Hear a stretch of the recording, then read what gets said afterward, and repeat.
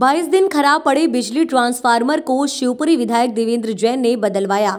शिवपुरी शहर के वार्ड क्रमांक एक, बछौरा में पिछले 22 दिनों से डीपी फुकी हुई पड़ी थी। मामले को लेकर यहाँ के रहवासियों ने कई बार बिजली विभाग को सूचना दी, लेकिन कोई कार्यवाही नहीं हुई। बीते रोज यहाँ के वार्डवासी पुराने बस स्टैंड स्थित ए दफ्तर पहुँचे और घेराव करते हुए नारेबाजी की।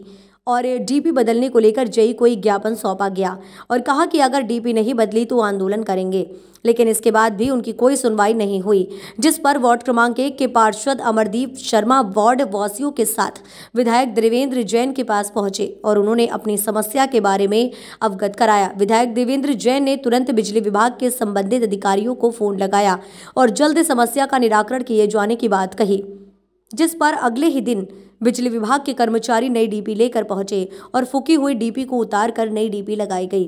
विधायक देवेंद्र जैन ने अपने पुत्र सक्षम जैन को पत्र भेजा और काम देखने को कहा, जिस पर सक्षम जैन मौके पर पहुँचे और उन्होंने अपने ही सामने फूकी हुई डीपी को उतरवा कर नई डीपी लगवाई।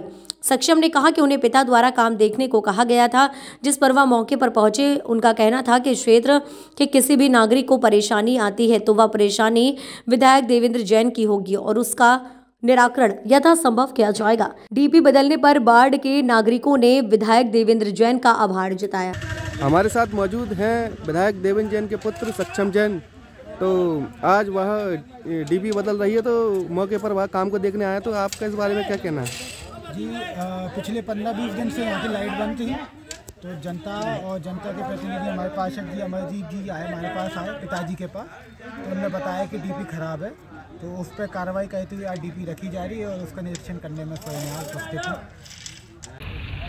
आपका नाम क्या है अमरदीप शर्मा जी आप बाहर से पार्षद हाँ, पार्षद हैं। जी क्या समस्या आती है इधर ये ट्रांसफार्मर हमारा खराब हो गया था लगभग बीस बाईस दिन हो गई थी बीस बाईस दिन ट्रांसफार्मर खराब था अच्छा। हम लगातार एम पी वालों से प्रयास कर रहे थे जी। चेंज हो जाए जी, जी। लेकिन वो हो नहीं पा रहा था काफ़ी समस्या आ रही थी फिर हमने समस्या हमारे माननीय विधायक जी को बताई जी। उन्होंने फिर ये एम से यही से बात कर रहे और आगे ये होगा हमारे बीच दिया तो मछौरा की लाइन हमारी चल रही है।